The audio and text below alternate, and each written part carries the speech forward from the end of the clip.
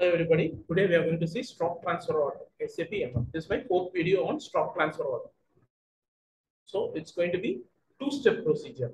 313 and 315 is the movement type between two storage location. From storage location HK09 to 0001 storage location. 313 and 3315 movement type. 313 is sending the stock and 315 is receiving the stock.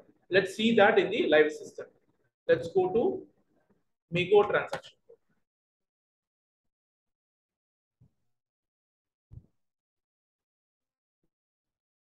Three one three. Three one three. Now go, go and enter the material.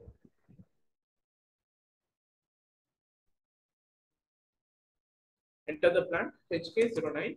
Storage location is HK09.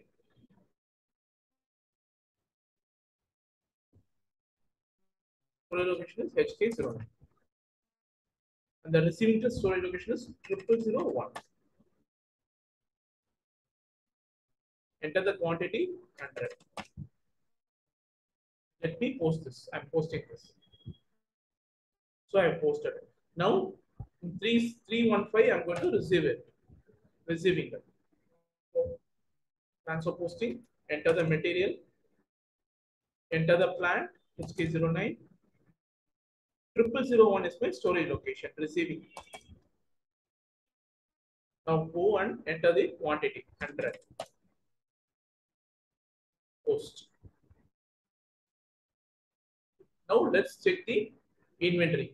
MMB. Go and check the inventory. HK09 is my plant. Storage location is triple zero one. See? Triple zero one hundred.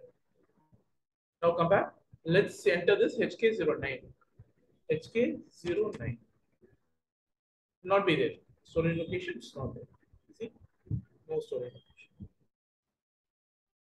Thank you.